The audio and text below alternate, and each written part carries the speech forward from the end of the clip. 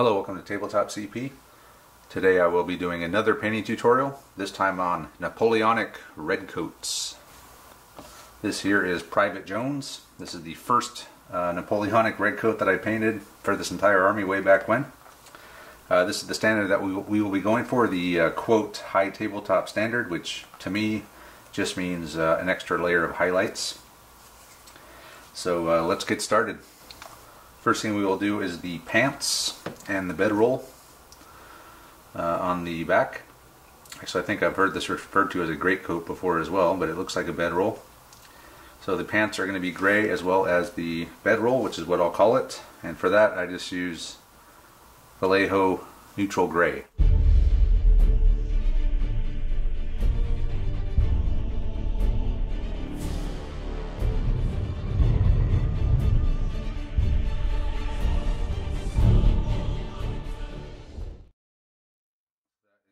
Gray complete. Next thing I will do is the red coat. For that I use the base of Evil Sunz Scarlet by Citadel.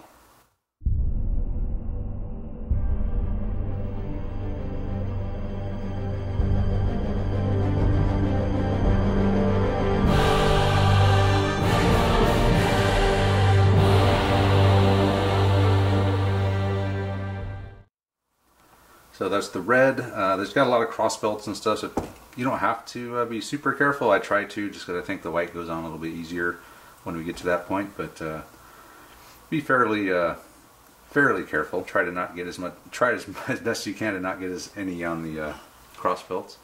So next we're going to do is the facing. So the cuffs. Uh, this is the Royal Scots, so their facings are blue. So we got the cuffs are going to be blue.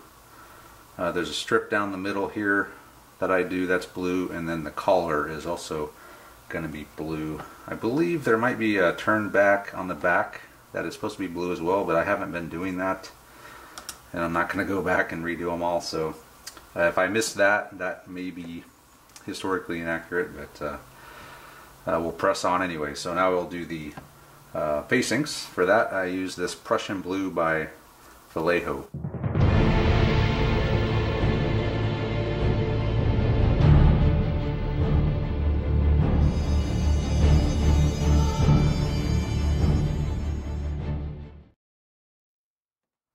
Thing I will do is the black. He's got quite a bit of black. Uh, his boots are black. His pack, his ammo uh, cartridge box is black. The bayonet scabbard and the shako. All those things are black. And for that I was, I'm just going to use regular old black from Vallejo.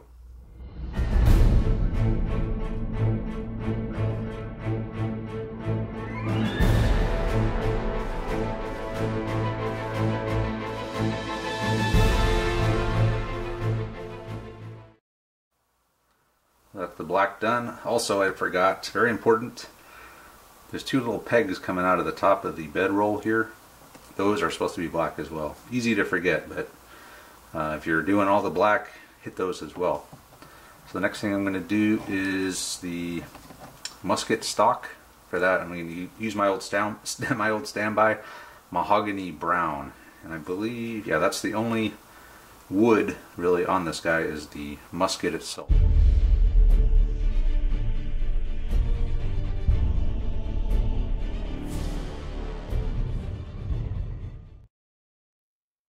Next up will be the uh, rest of the, uh, the musket. It's going to be uh, steel color, so I'm just using oily steel from Vallejo. Any metal color, steel color will work fine. Uh, it's going to be the musket itself, the barrel, the bayonet, the flint, uh, the and the only other thing that's this color on this guy is I I don't even know if this is correct or not, but I do the the end of the bayonet scabbard uh, with the metal. Oh, I'm sorry. And then there's a little adjustment slider on the strap here that I also do uh, steel.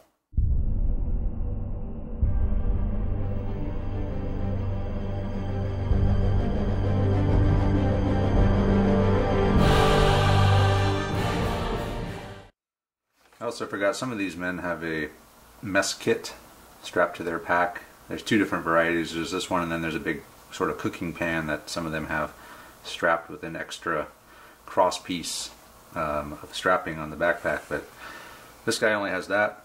most of them don't have any, but I paint that silver as well. So the next thing we're going to do is the canteen. And like all these British, it's a nice little pop of color. A nice bright blue canteen. Really adds, uh, adds a lot to the model, I think. For that, I use this uh, Caledor Sky from Citadel.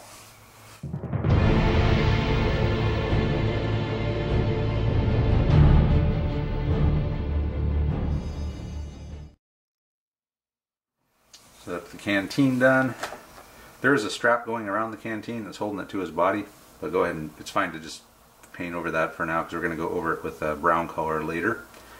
Next up we will do the white. So the white is what takes the longest on these guys. There's quite a bit of white. Both cross belts. There's white on each side of this blue facing on the front. There's a very thin white line that goes around the top of the collar.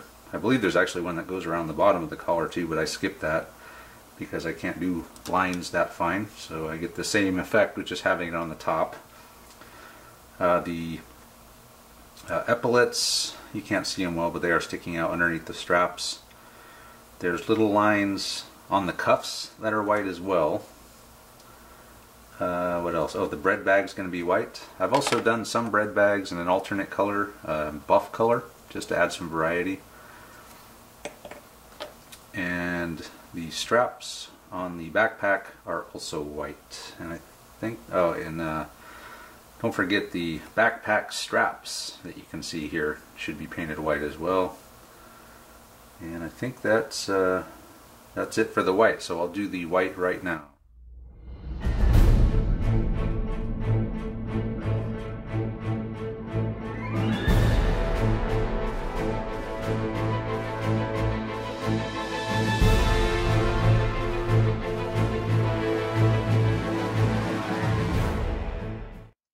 Complete. So don't worry if you uh, aren't perfect on this stage. This is the blocking in of the colors stage. It doesn't have to be perfect because we're going to come back and go over it again and we can clean it up. But like for example, I got a little thick on the uh, collar here, but when I go back with the blue, it'll be easier to thin that line out. Instead of trying to get the white line thin, I'll use the blue to thin the white line out. Uh, this guy's got a lot of straps on him. He's got horizontal straps, he's got vertical straps, he's got diagonal straps. They're all over the place. But uh, try to be as neat as you can, but it doesn't have to be perfect because we're going to come back and uh, go over everything again and at that point we can clean it all back up. Uh, so next we'll do the hair. Um, in this case I'm just going to use that mahogany brown again as it's a good hair color and I happen to have it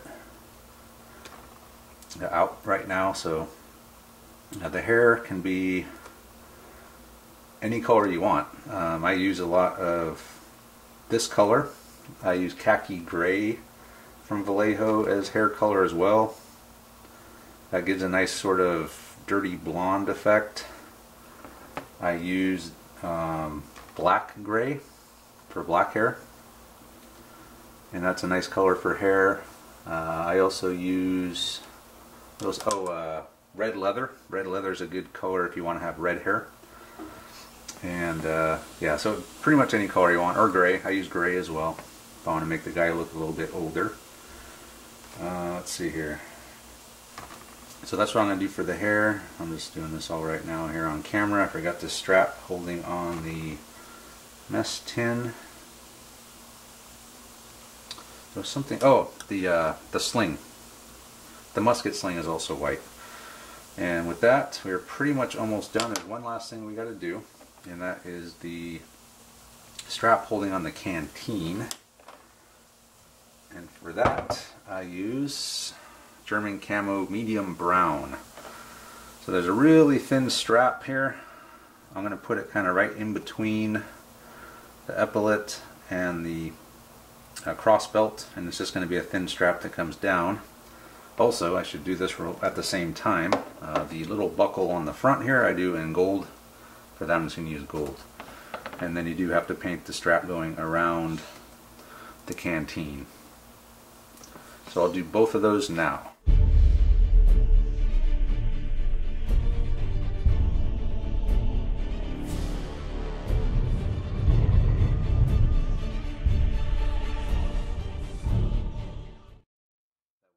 blocking in the colors. So fairly quick. Uh, I usually do these guys four at a time. Uh, it helps uh, just break up the monotony of doing you know 40 red coats, 40 pairs of boots. Uh, just do four at a time to completion and start the next four.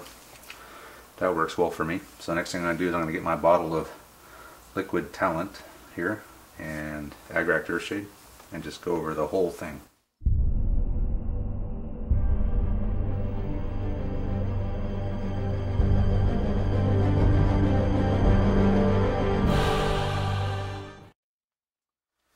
Agrax Earthshade, Agrax Earthshade applied. So you want to put it on thick. You don't want to have put it on too thick, obviously, where it uh, pools and obscures any detail. Like a place that you'll know if you have too much is if this inside of this canteen is full of Agrax. You gotta you can just get your brush and uh, dip it out. And other than that, it'll pool in places like in the arms and stuff. So just be careful of that. But otherwise, you can put it on fairly thick as you want to create, this is going to create depth and shadow instantly for us. That's why I call it liquid talent. What I'll do now is I'll let this dry and we'll come back and we'll begin uh, highlighting. Alright now the wash is completely dry and we have some nice shadow built in. You see everything's real dark now but we're going to fix that and what we're going to do is we're going to go over all of the same colors or all the uh, colors with the same color again just to bring the color back up. But we're going to be very careful not to fill in any of those nice shadows that we've developed with the wash. So in this uh, this stage of the model you need to start being a little bit more careful than you were in the first part. And uh, we'll just start with the uh, uh gray. So we'll start with the pants and the bedroll.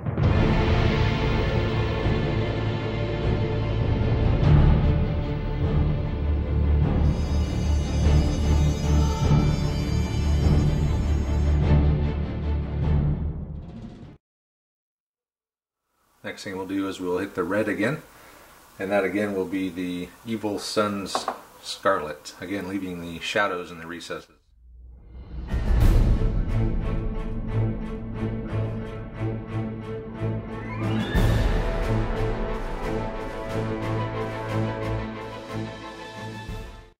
Next up we go back to the Prussian blue for the cuffs and the facings and Again, you got to be careful because you not only have the shadow, but you're going to have the white on a lot of this stuff as well, like the cuffs you're going to have to be careful of.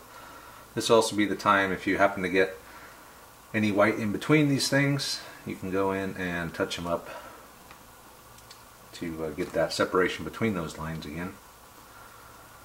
And uh, yeah, so I'll go ahead and do the blue roll.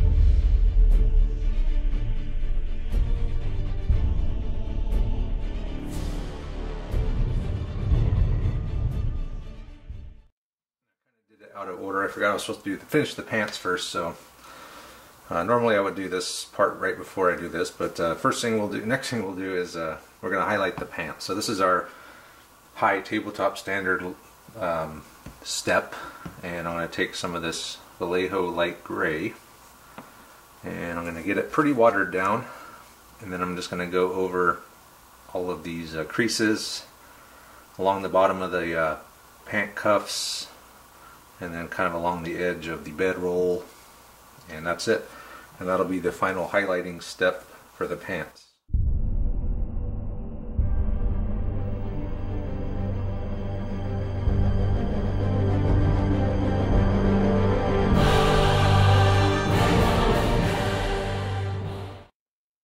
So done with the pants highlighting. As you can see it's not super impressive when you look at it up close. But again, this is tabletop standard. It's not supposed to withstand a rigorous close inspection or close photography. It's meant to look good uh, from tabletop distance and be fast. That's the whole point of it. So next thing we'll do is, uh, see, I did something out of, oh yeah, I did the blue uh, first. So what we'll do now is uh, the canteen again, because we're going to use this canteen color, Caledor Sky, and we're going to just lightly hit the edges of the cuffs and the collar and this uh, coming down the chest here that'll be the highlight for that for the Prussian blue uh, will be this Caledor sky. So we'll do the uh, initial highlight layer on the canteen and the final highlight layer on the facing.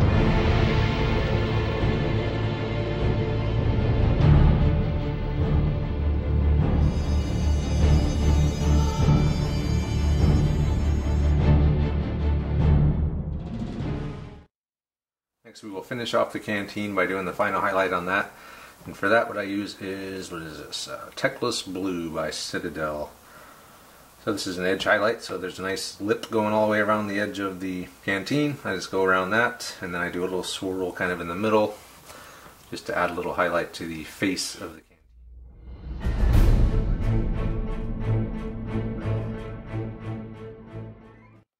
Canteen complete. Next thing we're going to do is uh, highlight the red. So for this uh, step I use this red, well straight red from, uh, it says Model Air, so Model Air color from by Vallejo are the same colors, they're just watered down more.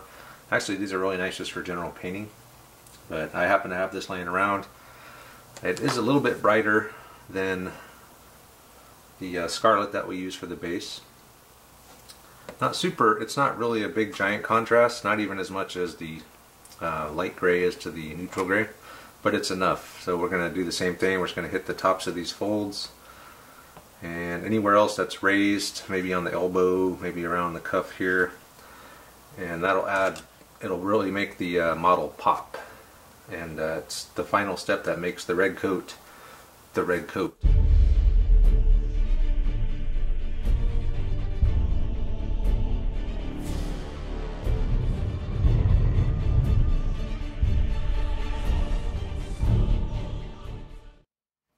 Is, red coat's done. Might be kind of hard to see, but it is a little bit brighter than it was. And it's a really nice, uh, vibrant color I like. Uh, I like these guys to look bright. I like to kind of consider them, this is a toy soldier style that I do, where they're kind of over exaggerated, a little bit brighter than you normally would see. Uh, they're clean. They just, uh, it's just how I like these uh, Napoleonics to look. Uh, so next we're going to do is the musket stock and we're just going to do the same thing with the mahogany brown. And this is really the only color on these guys that I actually add another color to to highlight. So I'm going to go over it with the mahogany brown and then I'm going to take a little bit of the pallid wych flesh mix it in with the mahogany brown and just really lightly go over the top edge of the uh, musket stock maybe the high points along the uh, butt here.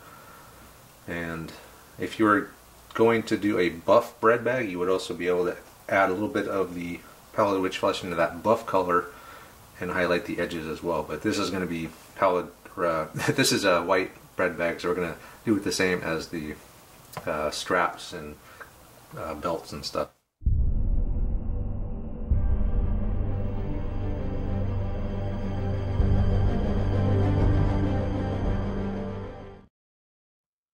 Next up we'll go over the musket barrel, the bayonet, and the bayonet scabbard again with the steel color.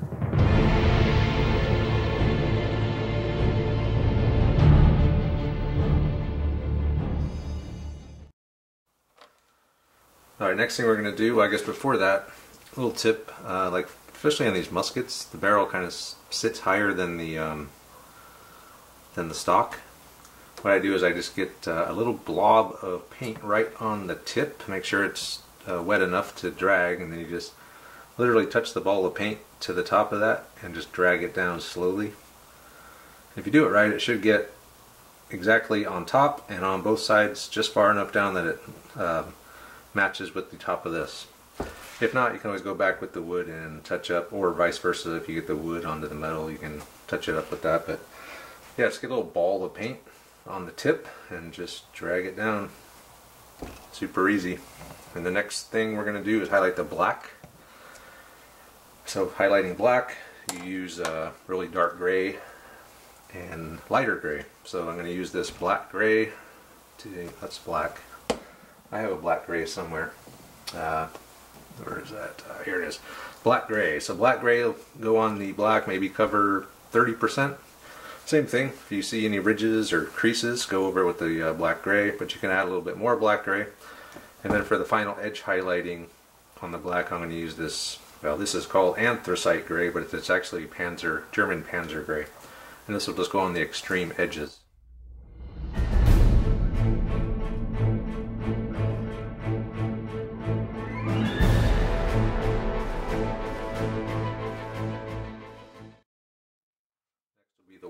So we'll just use the pallid wych flesh again, go over it pretty carefully. And once that's all done, and again with the pallid wych flesh, we're going to use pure white to do the highlighting. So it's going to be just the top edges if you can. If not, if it gets over the whole thing, it's not a big deal. But uh, even if you kind of get it messed up, it'll look natural because there'll be a little bit of uh, the pallid wych flesh showing and there'll be some white, so it'll look somewhat uh, natural. So pallid wych flesh and white to highlight all the way.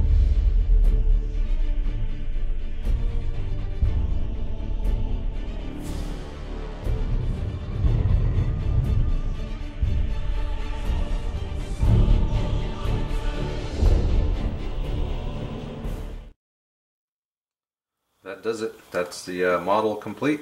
Super fast, super easy.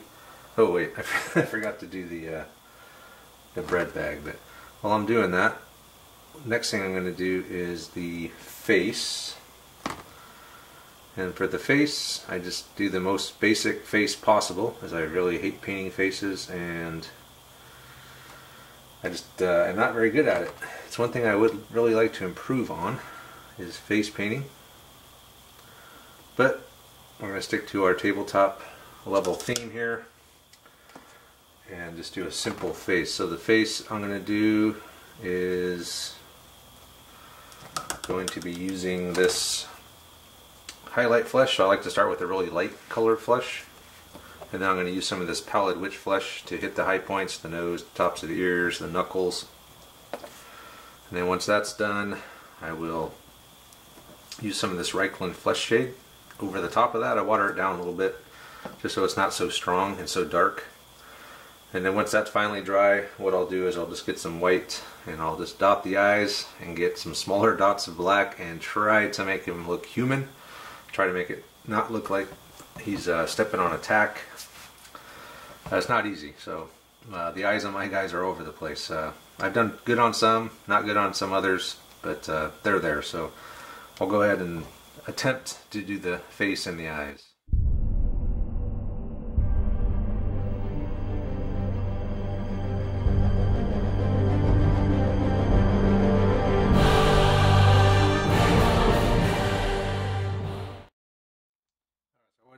Finish the guy. My battery died, so uh, I did forget to do the German camo brown strap. I just redid that. Don't highlight that. It's just so skin. It's so skinny that it's hard to highlight. So I just hit that with the original color and call it good. And then I did the base. Everyone does bases different. I'll go over real quick what I did. I just get some uh, cheap craft uh, paint from the craft store. Maybe two bucks for all this. Uh, the Vallejo Citadel stuff's a little bit too expensive to just be slopping on bases. So the craft paint will do just fine. And then I do a dry brush with some uh, tan, tan earth over the top of that. And then just put some static grass down over some glue. Call it done. So here he is. He's all done. Did the eyes. These eyes came out uh, halfway decent. At least he's looking the same direction with both eyes. And uh, he's done. So that means I'm officially done uh, with my British force. Uh, we'll go take a quick look at uh, the line troops when I put him in with the rest of his guys. And British line complete. So with the completion of that last guy, my British line troops are now complete. So if you watch this channel, you know that I play Sharp Practice. If you're just watching this for the tutorial, you might not know that, but in Sharp Practice, uh, troops like this run in groups of eight. So having five of them will give me a lot of flexibility.